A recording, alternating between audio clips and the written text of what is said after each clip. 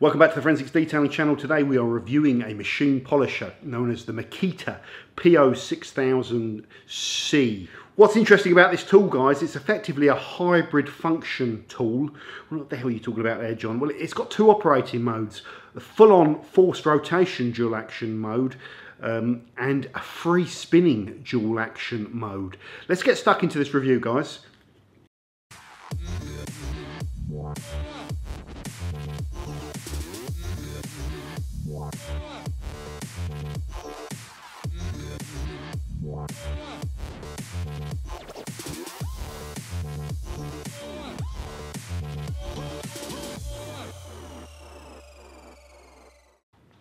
Welcome back to the channel guys. So the PO6000C via Makita. The claim to fame or the interesting thing about this tool is the hybrid function where you can switch from free spinning dual action polisher to forced rotation. Now the forced rotation dual action movement as well as the as well as the oscillation of the machine, the rotation is driven, so you cannot slow the machine down. The downsides of that typically though are that if the machine is biting into the panel, the polishing pad's biting into the panel, because you can't slow that free spinning down, you are going to feel the machine fighting you a little bit more, which is true. So some people don't like um, forced rotations for that reason. This you can click to free spinning mode, so suddenly the spin of the plate, if you like, is not driven. So um, where you're moving it around, creating different pressures and stuff like that, where you might get pushed and pulled around, what you'll get in return is perhaps the plate slowing down or even stalling for a second while you're passing over an area, which affects the consistency of the tool but makes it easier to operate. So you've got a choice before of whether you go for the forced rotation or the free spinning one. Now you've got them both in, in one tool. That's pretty cool. Let's go through all the specs of this machine. Right, let's talk about price, guys. The Makita is £232 for this tool only, and that comes with a 150mm plate, which you can swap over to a 125mm plate if you want to. Um, so it supports a 125mm plate as well. To give you an idea of prices, the Flex 3401, the sort of first one of its kind, the, the one that kind of everyone talks about, is around 300 to 320 um, for tool only, and the Rupes Mille, the new force rotation from Rupes, is around about 430 to 450, and you can still only get that at the time that I shoot the video, I believe, as a standard or deluxe kit, and that's the price of the standard kit. So you get a couple of pads and some compounds with that, but the Mille is the most expensive. Then after that, the Flex, and the Makita is the cheapest of those three kind of brands. There are some kind of there are some other force rotation tools out there that come from China that are out with various companies that can beat the price on the Makita. Um, maybe as little as sort of 130 to 150, something like that. I'm not sure the exact price. Should have written it down, didn't. Anyway, that gives you an idea of roughly how to compare the Makita price rise to what, what else is on the market. Okay guys, let's quickly run through the rest of the specs. It's got a 900 watt motor in it. It weighs, according to Makita, 2.8 to 3 kilograms. I've put it on the scale and it come, come out as 2.92 kilograms. Um, it supports 150 mil plate and 125, comes with a proprietary 150 mil plate and you can swap it with um, other compatible plates um, like this tool has done to put it down to 125 mil plate, which is most people want to do. It's less of a handful with a smaller plate and that's probably more of a standard size now. Um, its OPM range, guys, oscillations per minute or, or orbits per minute are 0 to 6,800 um, what else have we got? Cable length five meters with a heavy duty black cable, which is good. Doesn't it's not prone to coiling. Two modes, dual action and free spinning dual action and forced dual action. Variable speed trigger and, and speed control dial. Trigger lock uh, it's got a tacho, so it, it, manages and maintains constant velocity, which is important. So you shouldn't be able to slow the tool down for too long for the some sort of clever computer detects it and adjusts, so it keeps constant speed. Soft start, rubberized grips all over the pad, including the integrated bail. Rubber feet on the underside, so you can flip the tool over and put it down, uh, and it's soft, you know. Um, so you, you want those kind of rubber feet on it ideally. Um, dust covers on the side of it, so if you're hammering these tools, which they, they are going to get hammered, um, it's going to protect the tool as well and you can take those dust covers off and clean clean them. One other very important thing guys this this tool comes with a three-year warranty which is a little bit um, unusual and it's longer than the normal warranty. Typically you'll get either a two or one year UK warranty but most tools by default while we're in the EU have a two year EU standard warranty I believe. So it's got a slightly longer warranty in it than other tools Okay guys, I'm going to run through some little standard things here, vibration, noise, weight and some comparisons with it between this tool and the, the Flex 3401 which is the one I have and the one I know and the one I use and the one I've bought.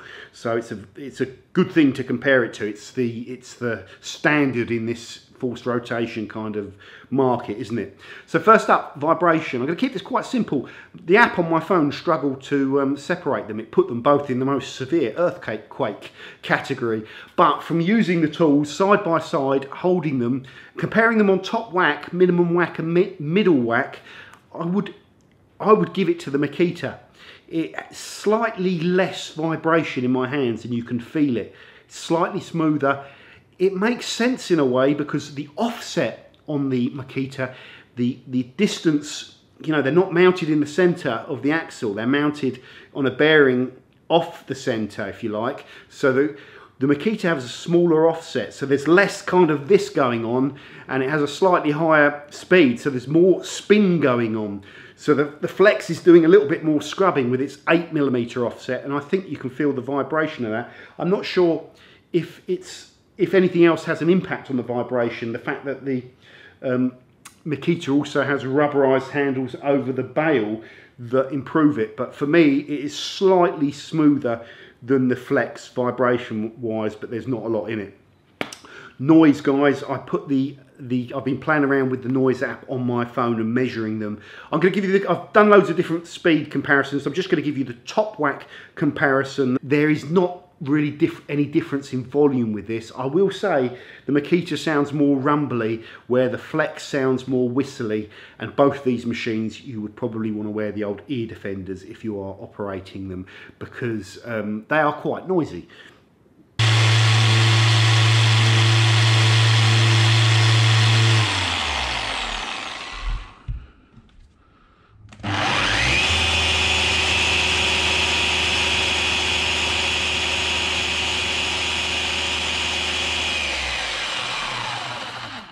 Next up, weight guys, well I'm just going to show you the measurements and I'm, I'm not including the, um, the cable because I'm trying to sort of simulate the weight of the machine as you would be using them because you're not going to be carrying the whole weight of the cable. The Makita was about 2.92 kilos and the Flex came out as 2.8 kilos, 8 something. I love those shots and you can see the, the something. I didn't make a note of it because there's too much to do. Um, there is no, I've got some additional components on the Flex, the Lake Country backing plate adapter system which might add to the weight slightly beyond what Flex advertised but those are the weight readings I got with how I use the tool so you can you can compare them. Not enough there really to give you much so far. Out of all the things I've talked about so far they wouldn't be critical things for me in um, comparing them, although the vibration advantage with the Makita is something that is going to be desirable with some people. Cable lengths, guys, well, the Makita has five meters and the cable is superb, thick, doesn't coil. The Flex has four meters. The cable is a sort of thinner, shiny plastic thing, which is kind of rubbery and does sort of stick together and coil a little bit. So I prefer the Makita cable. However, let's just give Rupes some credit here. Their Mille came with a heavy duty nine meter cable, which is the Mac Daddy. And, and I'd love to see them all do nine meter cables so you don't have to mess around with extension leads. Next up, what do I feel about the ergonomics of this particular tool, guys? I'm going to pick it up while I'm talking. It's good. The one thing, I'm, if I'm looking for things to complement it on, is that the tool doesn't creak, it feels ridiculously solid. Some of these tools, if you pick them up and start talking like with your hands, start talking the chassis around, things can creak and move and rock around a little bit. This is absolutely rock solid. It feels really, really well made and there is literally nothing on the ergonomics that I don't like. The handle is lovely, the, tri the trigger's lovely, the, this, this thing is absolutely fine. You know, the, the Rupes one is massive, which might be slightly better, but that doesn't really bother me too much. The bail is great to grab hold of, and the tool is really well made. On the flip side, because I'm doing this as a sort of comparison, so is the Flex. I love the ergonomics of this tool as well. It's a little bit shorter, and this is great to hold as well. But I would not pick either of these tools or favour one because the because of any additional ergonomic features. They are both well designed, nice to hold, and nice when they are down on the panel. Okay guys, I've been testing this tool now for the last probably about four hours. My eyes are, are dried out. I've tested it with about eight or nine different pads, different polishes, um, I've tested it in dual action mode, I've tested it in forced rotation mode, I've been taking out sandy marks, I've been trying to cut this panel back, I've been trying to polish this panel back, I've been putting the flex up next to it and running one set with like the Makita and then running another set with the flex. Um, and then I've turned my camera on and grabbed up some footage to kind of overlay for the video but I'm not filming the whole lot, it would kill my battery. Um, and I've learned a few things about this Makita. First thing is you've got to get yourself um, a good combo that works. And actually, some of the I, I like using the Lake Country um, closed cell pads with these force rotation tools, and I tried the hybrid force pads, and they worked beautifully on the Makita. Um, and I was I tried some other pads, had no other problems, but had a problem had a preference for the the closed cell ones. I gave the Rupes Blue a run out as well because I was really critical of that when well, not really critical, but I found it a bit of a handful. But on the Makita, it was really really nice. Um, and I did exactly the same thing, guys. I know you've got to load up and make sure it's all primed and, and spread so you get a bit of lubrication with it. And I did all that, but I just couldn't get on with it. it, it some things are so funny. It could just be that I'm on a different test panel um, or something like that. But for whatever reason, the blue Rupes pad worked really well this time around. And the yellow Rupes pads, all thin one, has always been nice for me. Um, I haven't really had any problems with the Makita. The I like the free spinning mode. Um, someone said to me, well, you don't really need to use the free spinning mode with it. And I can understand that actually, because really I think you want the forced rotation mode on when you're cutting paint. It's going to be of benefit. And if you're turning it off because you're having a problem with the machine fighting you, you need to solve that problem because it is solvable because there's no point in getting this tool if you don't use it in the force rotation mode. Um, that's the very important thing. Um, you perhaps use the free spinning mode when you want to just whiz over the paintwork and polish it up where you don't need that consistency and that aggression and you can just use it with the softer pad and, and whiz over the paint but you could still finish it you know, use the finishing polishes and stuff in forced rotation mode. I'm not 100% sure on that. I'll do some testing on that because it'll make an interesting video as well. Overall, guys, I'm really pleased with how the Makita tool has been to operate and use. Right, I've made a list of all the really important key points about this video, guys. First of all, if you're in the market for a forced rotation polisher, the Makita P6000C is a viable option that you should consider that definitely ticks the boxes in terms of giving you all the capability that you'll want from a forced rotation machine. Definitely offers you some price point advantages over some of the other premium uh, offerings in that market. Definitely has very, very good build quality that you get from Makita if you ever, kind of use their drills and stuff. They're rated, you know, and they are solid, all their tools, and they've got decent reputation. Some of the key things, guys, to consider the offset of the Makita is smaller than the Flex, so it, a bit in a similar way to the Rupes, it, it works by giving you less os, sort of distance or less scrub from the oscillation um, and counters that by by actually kind of rotating a little bit faster. So that gives you slightly different dynamics to the Flex and one of the positives about that is perhaps less vibration and a slightly smoother tool. Worth saying that it also spins anti-clockwise like the Flex and the Rupes Mille have changed it around so that their machine is clockwise, which is something that some people might prefer. It doesn't cause me too many problems. One other thing that, that is important, even though it sounds trivial, is the cable length. The Flex has the four meter kind of red cable, which is a bit rubbery and a bit kind of springy and coily. The Makita has a better heavy duty black thick cable, which you know, it just feels a little bit better, but it's five meters, slightly longer. The Rupes Mille coming with that standard nine meter cable is a really good thing for me. And I know there's considerations around the power supply to the tool that's affected by the length of the cable, but quite simply from my point of view, Makita, uh, Rupes have been able to deliver that, and I'd love to see it on the other particular tools. So I want to mention that on this on this summary thing. One other advantage of this machine over the Flex, other than being a little bit kind of smoother because of the smaller offset, is that the metal shroud on the Flex 3401 gets hot and it's something that you wouldn't want to put your hand on. You know, it won't burn you, but it does get quite toasty and um, you know, it's you'd rather it was all shielded and stuff like that. It's important for me to say the design of the Flex 3401 is decades um, old now. I think 13, 14, 15 years, something like that. Can't remember when it was brought out. Very old. And they are going to be bringing a new tool out. And I also think another problem with the Flex 3401 is the size of the proprietary plates that are non-standard, 115 mil, I believe. And apologies, but I think the other proprietary plate is 140 mil. And that creates not an ideal fitment scenario. I, I suspect when Flex bring out the new version of the tool, they'll give you 125 and 150 mil option. The Lake Country adapter system for the Flex for the Flex tool, which gives you the capability of running four inch plates and six inch plates, massive plates, that adapter plate system has been discontinued now. Lake Country stopped making it. It's still available in little places as and when I shoot this video, but they've also discontinued the four inch pads for it. So that was a nice little feature because those pads work really well. But quite simply, the tools are better, I think, or need to go down the route of being standard size 125 mil, 150 mil. No force rotation tool has a small mini force rotation that you can pair it up with, which is a negative with all the force rotations.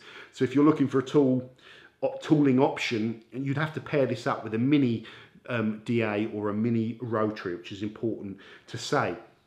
There is one negative around performance on the Makita PE, PO 6000C, and that is down to the free spinning mode on the machine.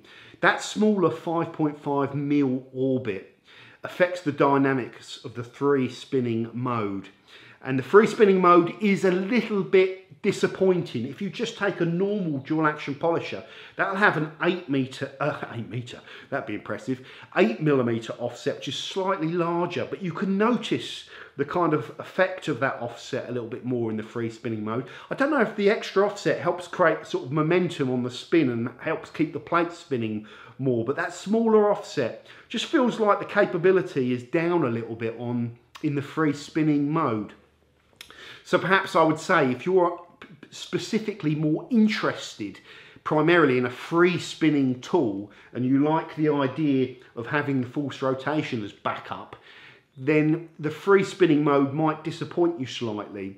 But if you are looking for a force rotation tool that, that has all of that capability with no limitations in force rotation mode, where you could look to use the free spinning mode just for that kind of final polish where you're less worried about kind of um, you know, you, you don't need the capability so much when you're just finishing out a panel. As long as you're using the machine properly, the free spinning mode essentially will still work, but it's not quite as good, I believe, as the 8mm offset standard DAs and definitely the 15mm offset where, you know, they work quite well. So that's important to cover in this review as well. Is countered by the fact that the design of switching between force rotation and um, free spinning DA is so well done on this tool. You know, it hasn't got some like big lever you've got to clunk and then lock it into place. It's just a little switch.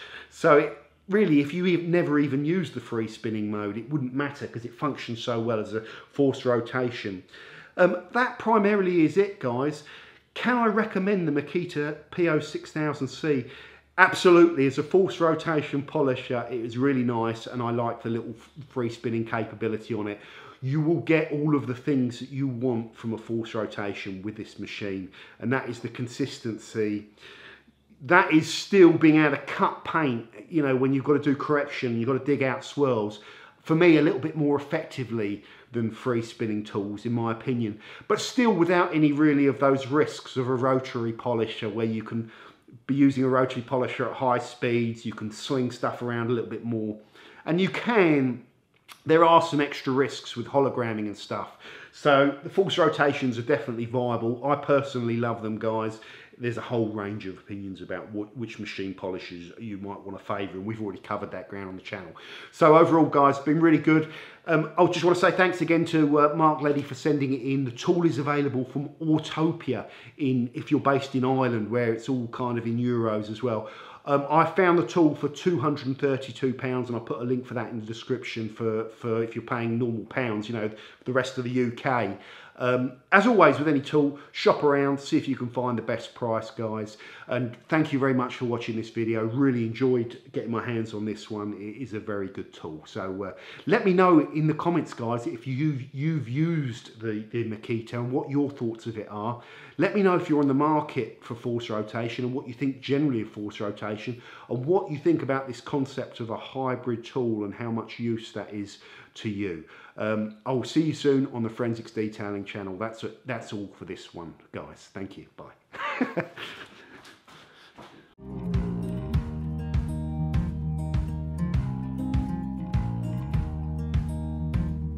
Holding on to what I knew, but the moment's gone. Where was I?